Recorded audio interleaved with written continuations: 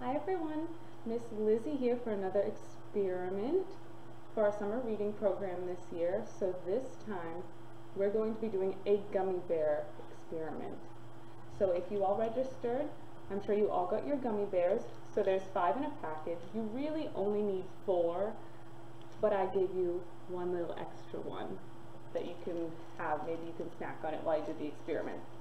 So this is a pretty simple experiment. You only need a few ingredients.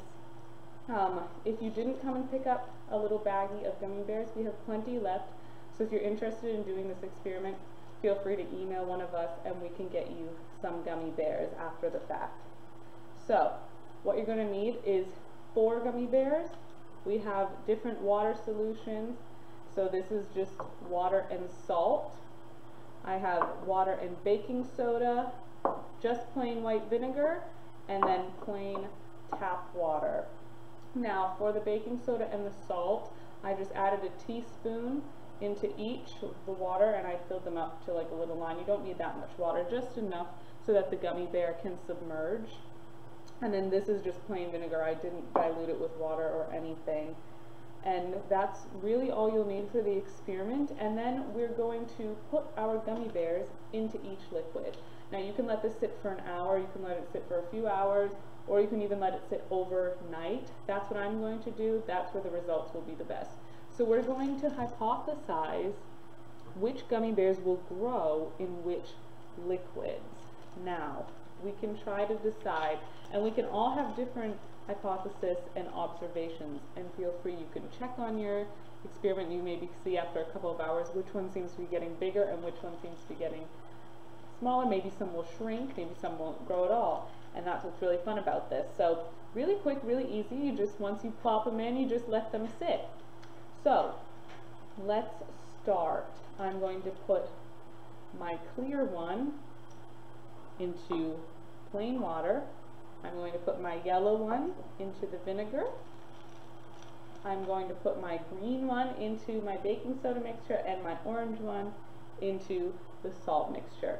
And like I said now, we just wait and we'll check in tomorrow morning and see if they grew or not, or maybe if they shrunk, and we can decide our observations. I think the one in salt might get the biggest, maybe the baking soda. I'm not sure. What do you guys think? All right, well, we'll have to check back tomorrow and see what we think. All right, next clip will be tomorrow morning and we'll see what happened. Hi everyone, so it's the next day, checking in on my gummy bears, and I have to say that almost all of them dissolved.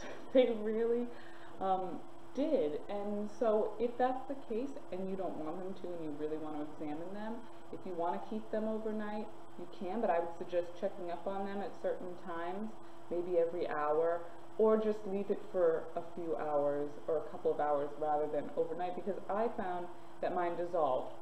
Now the thing about this experiment is it can go different ways depending on how much liquid you put in, how much salt or baking soda or whatnot you put in.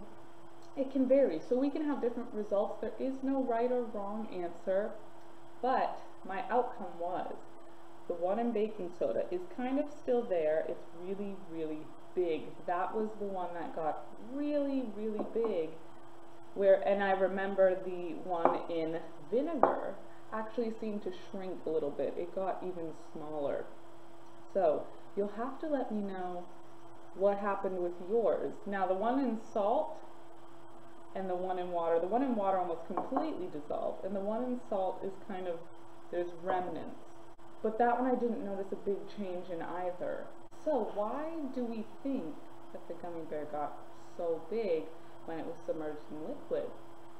Now the gummy bear got so big when it was submerged in liquid because of a scientific process called osmosis.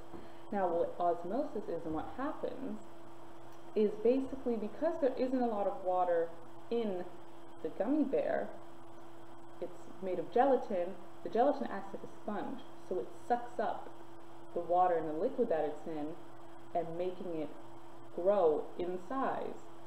Now we can also see, you can test if you'd like, if you wanted to take it out of the water and see if it'll shrink back down over time. That could be another element to the experiment. You could try other candy. You could do it different ways, like I said, if you wanted to um, do more liquid, less ingredients, things like that. You could also, if you didn't eat your fifth gummy bear that you had, that can be your controlled variable. And that one, your controlled variable, is the one that does not change. So that way if you take one of these out of the water, you can compare your first gummy bear to now the ones that have changed in size and see just how much they change. And maybe you could do it if you did it in different times. Maybe one gummy bear is much bigger than another one because that one sat in water longer than the other one.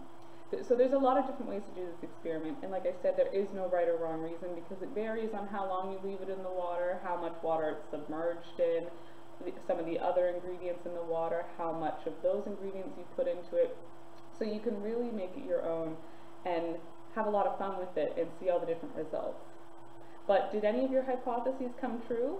Any of your predictions? I said either the salt or baking soda, which wasn't a nice um, solid hypothesis because I should have just chosen one, but the baking soda one did get really, really big. So I hope yours worked out great, and if you did this experiment, like always, please email us and let us know. We love to hear that you guys are doing these. We love to see photos. It makes us so, so happy here at the library. So thank you so much for watching, and hopefully we'll see you soon. Bye-bye.